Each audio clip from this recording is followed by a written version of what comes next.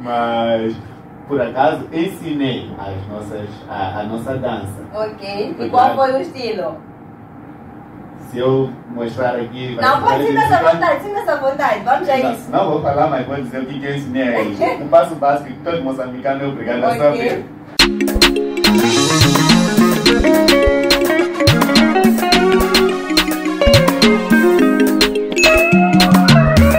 The storms of love become the bonanza. I know you and I forget all my past.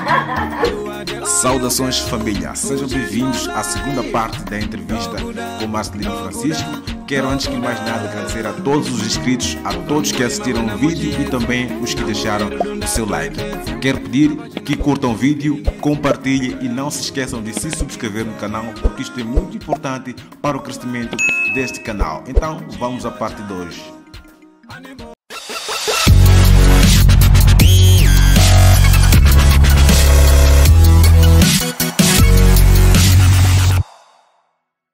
Aí fui produzindo conteúdos aqui mesmo em Moçambique, falar um pouco da nossa cultura, dos nossos costumes, coisas simples. Por exemplo, eu falar de Shima, para eles tornou-se novidade. Certo. Não tem essas coisas, tinha Shima, a Zacapulana. Isso, pessoal, importa salientar que isso simplesmente era nos vídeos, antes do Marcelino ir para o Brasil, certo? Certo, certo. Então, isso foi atrativo. Eles Ok. gostaram disso, ver a, a, que as mulheres aqui usam capulana e não é como lá ou, é, apenas de calça, ou shorts, ou qualquer coisa assim. né? E já agora, por ser reconhecido em qualquer lugar, ah, não achas que deves ter uma certa atenção com as pessoas ah, com relação à popularidade que tens agora? Bom, eu sempre apostei por um estilo simples, um estilo assim, entre aspas, humilde, né? E sou, sou do povo, sou o povo também. Não preciso me sobrepor só porque hoje tenho mais popularidade. Ah, quando eu encontrar alguém que me reconheça, eu estar acima deles. Não, eu prefiro estar abaixo deles. Então, não Será que é possível? Será que as pessoas não cobram do Marcelino? Ah, porque Marcelino já é muito conhecido, não pode frequentar esse lugar. Cobre, cobre, mas ainda assim eu estou de boa com isso e gosto mesmo de ser do povo. E eu meu estilo, assim. E quando tem eh, essa crise, essa divergência de opiniões, o que o Marcelino faz? Ah, eu mostro realmente minha opinião, o que eu penso nisso Ok. aqui. Tudo bem, as pessoas por, gostarem de si querem te ver numa posição igual, lá em cima. Todo mundo quer ver, só ouvir te ver ou ver que passou aqui.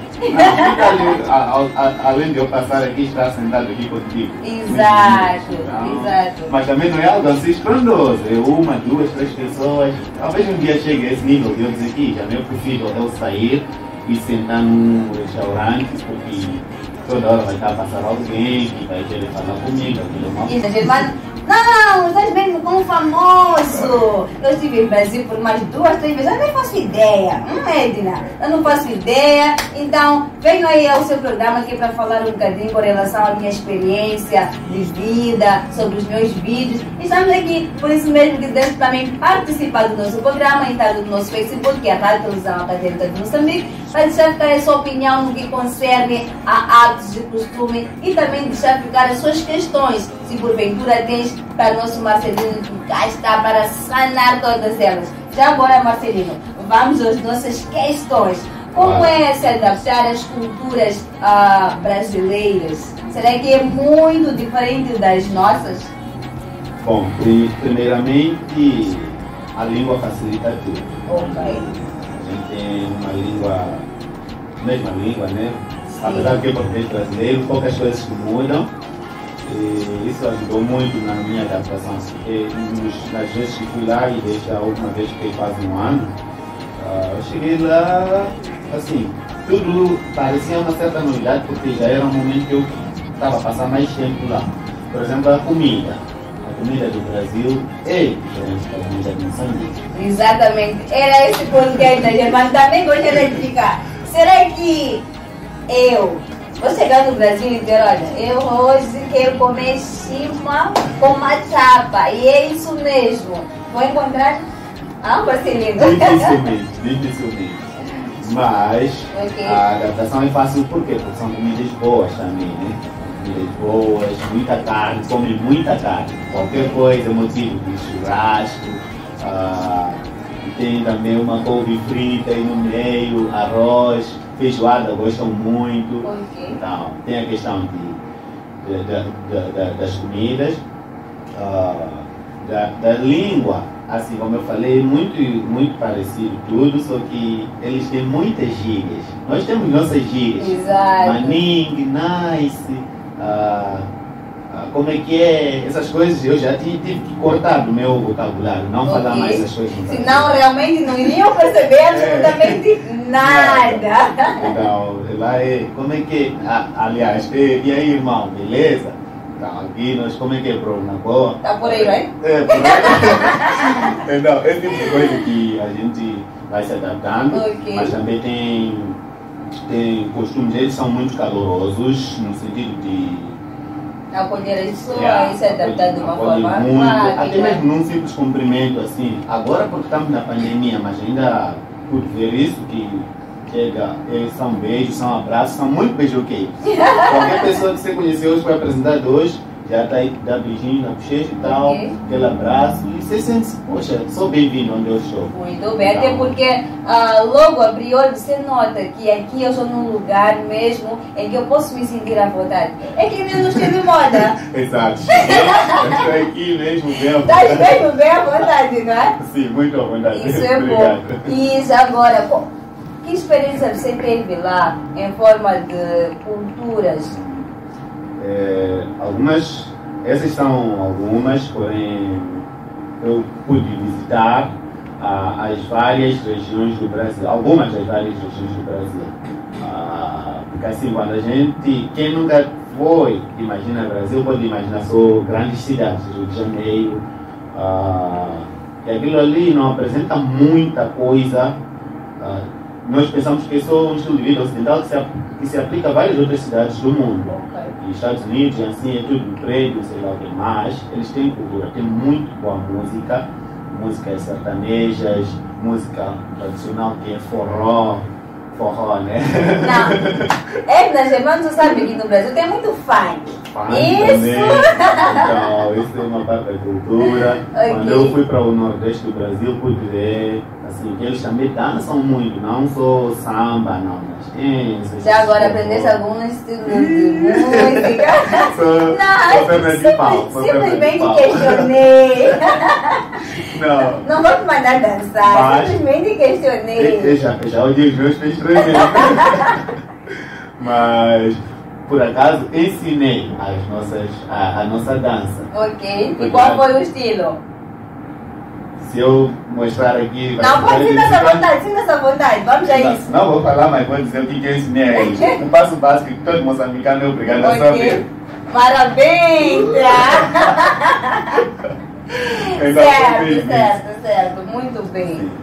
E simplesmente ah, a cultura brasileira, se hoje que tu foste para lá, viveste esse todo momento, disseste, olha, Brasil é dessa forma ah, e Moçambique é dessa forma. Em algum momento tu notaste uma, uma diferença extrema a ponto de dizer, não, eu quero ficar mesmo no Brasil porque eu amei esses hábitos, eu amei esses costumes e por isso mesmo eu vou ficar aqui para sempre.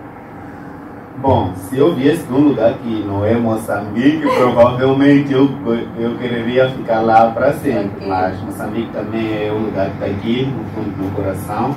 E teu povo é teu povo, né? Acho que todo mundo sente isso em relação ao seu próprio povo.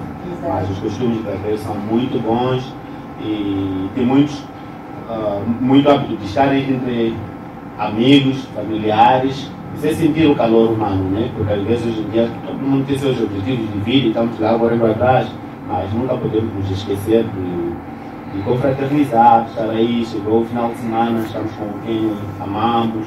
E essas coisas me fizeram sentir-me muito em casa. Estava lá sozinho, minha família toda mora aqui em Moçambique, mas parecia que eu tinha outra família lá. Pessoas que vi pela primeira vez tornaram-se amigos, não porque sou Marcelino youtuber, mas por causa dessa conexão, dessa abertura que eles tiveram para comigo. Eu também ah, permitir que eles fossem festas. Aberto. É, então, E agora, achas que é muito simples adaptar à, à cultura brasileira se uma Edna Germano sai de Moçambique e pretende definitivamente ficar em Brasil? Achas que eu iria me adaptar de uma forma tipo rápida e de boa? Com certeza, iria se adaptar muito rapidamente. Ah, só deixar assim certos, certos, eu diria, certos preconceitos. É, Exatamente. deixar- Logicamente queríamos chegar lá. Ah, já agora, chegaste em Brasil e não sofreste nenhum tipo de preconceito, é porque não, és moçambicano, ah, tens uma certa forma de viver diferente, ah, porque os moçambicanos são pobres, ah, porque não sofreste essa pressão psicológica vindo deles. Ah, da primeira vez que eu fui senti um pouco, porque algumas pessoas viram que eu fui lá, e, assim, não, não saindo de um lugar que parece tanto com o Brasil, sair de um país subdesenvolvido para o Brasil que está um pouco melhor, assim, financi- economicamente. Né? Senti um pouquinho, mas das outras vezes que eu fui, foram muito acolhedores e também ficaram curiosos em saber. Porque a, por muito tempo as pessoas já imaginavam que a África era um lugar de sofrimento e pobreza, mas hoje em dia eles estão curiosos sobre a África, estão curiosos sobre Moçambique. Então perguntavam-me, quantas línguas você fala? Eu dizia, eu falo duas, três línguas. Ele já fala, fala a língua do teu país. Eu gostia, tirito, essas coisas assim, Yotanaka, falar nossa língua aqui em mesmo. Ok. Falei, gente, uau, hoje sou ele fala, fala duas, fala três línguas, mas não é só nem um português difícil. Então, esse tipo de coisa tornava-os curiosos para aprender um pouco mais e cada vez que você abre-se, aí eles acabam cortando aquele preconceito, porque nós todos os seres humanos temos algum preconceito, porque não Exatamente. sabemos bem. Agora, quando você se informa das coisas, ah, a oportunidade de Eu tenho dito sempre, sempre, sempre nos programas que eu faço. Ah, o ser humano, por natureza própria, simplesmente por ser ser humano, ele já nasce com a capacidade de criticar muito. Então, a crítica já provém o preconceito, as diferenças e tudo mais. Ah, por que não? Não, Marcelino, não, não, não, não, não, eu não faço isso. Olha só o cabelo do Marcelino. Boa, íamos chegar lá. Olha só o cabelo dele, já está assim de uma forma diferente e Sim. tudo mais. E não acharam diferente também isso, visto que, olha, é mais de boa. Sim. Já no Brasil e tudo mais, não sei dizer. O que Ah. acharam? Eles gostaram, até pediam para passar a mão. Posso pegar teu cabelo? Pode, pega assim. Eu sempre tentava fazer estilos diferentes, agora Ok. faço uma twist, às vezes só cachear um pouco assim. Ok, uma fitagem básica. Uma Não, fitagem. tinha mesmo que é de Moçambique, então É. o moço faz acontecer como deve ser. Sim, porque tem certas coisas que não dá para fazer no cabelo liso, aí é a curiosidade deles. Mas, assim, tem muitos africanos lá no Brasil que tem outros com dreadlocks que eles já gostam. Já havia até gente branca, de Ok, cabelo loiro, ok. tentando fazer Dread. Vê se pode. é, mas é por isso mesmo essa certa admiração de tentar meio que incorporar um pouco a cultura, né? Ok. Assim como nós apreciamos alguma coisa da cultura deles, eles também apreciam algo de nossa cultura. Exatamente. Vamos ao nosso primeiro e último intervalo e voltamos dentro de instante com mais bate-papo aqui com o nosso Marcelino, o youtuber. Hã? Vamos a isso e até já já. Se beijar a tua boca é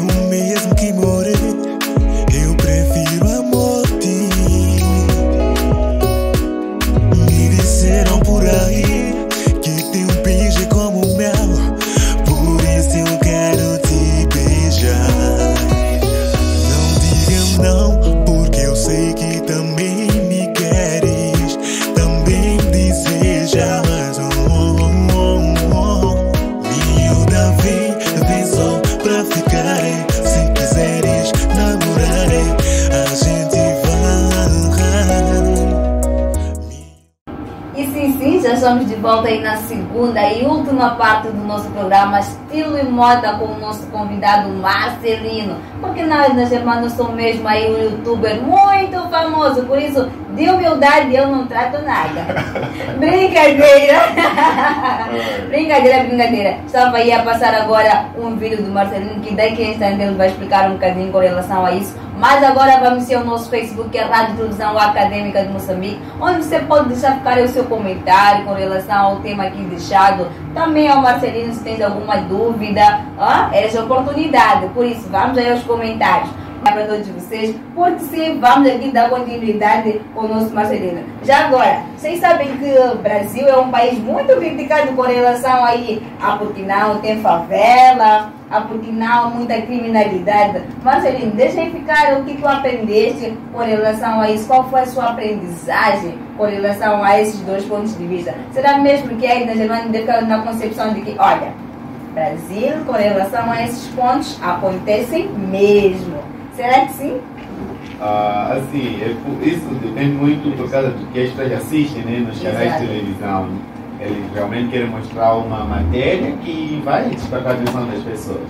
Isso acabam mostrando mais criminalidade, violência e retratar a favela como só isso. Eu pude estar dentro de uma favela, fui para a favela, fiquei alguns dias com um amigo lá na favela e posso te dizer que é tudo diferente. Lá vivem em comunidade. Até já, já esse nome favela já estão a afastar um pouco, estão a usar o nome comunidade, porque vive-se como família todo mundo e violência existe realmente e eles combatem, mas ao mesmo tempo, assim, gostei muito do estilo de vida da favela, um estilo humilde, igual aos nossos bairros su- suburbanos aqui, né?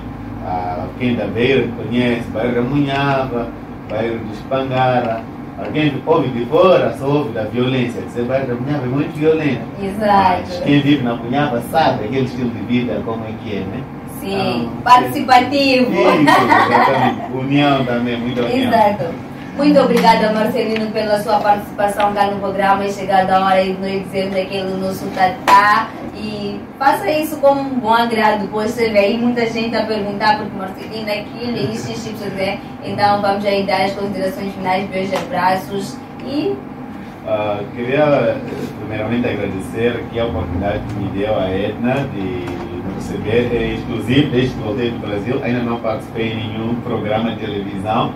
Então, muito privilégio é tudo nosso. Estamos aqui dentro de um famoso, uma celebridade. Muito, muito obrigado mesmo e mandar os meus cumprimentos a todos os amigos, todos os telespectadores também que estão acompanhando o programa e se é que posso, queria convidar a seguirem a, a, Ó, sim, dessa vontade. Por favor, sigam entrem no YouTube, escrevam Marcelino Francisco, irão ver lá todo o conteúdo que eu gravei no Brasil, que estava aqui a falar, a minha viagem, que cheguei este mês mesmo de setembro aqui em Moçambique, mostrei como é que foi sair do Brasil, Curitiba para São Paulo, para Maputo e agora estou aqui na Beira. Então, obrigado, cumprimentos e até a próxima. Olha, eu vou pedir para a minha produção que me dê mais dois minutos porque eu preciso que Marlene responder essa questão. Ah, diz aqui o Mutapate, uau, o nome do Facebook é mesmo o próprio. Mas ele diz o seguinte: ah, Bom dia, TVA, um abraço ao meu conterrâneo Marcelino Francisco. Marcelino, que tal? Não se apaixonou por nenhuma brasileira lá? Ah? Porque lá mesmo as brasileiras estão cheias de mulheres, mulheres lindas. Ah, vamos a isso, que tal? É verdade, as brasileiras são bonitas, tudo aquilo que vem na, na televisão, nas novelas, é realmente assim. Não, nós queremos a nossa resposta. Ainda não respondeste, Marcelino, Não. vamos a isso. Ai, é que tenho, tenho namorado. então, Não podia não, não podia. Ok, tá bem, é É. tudo. Obrigado.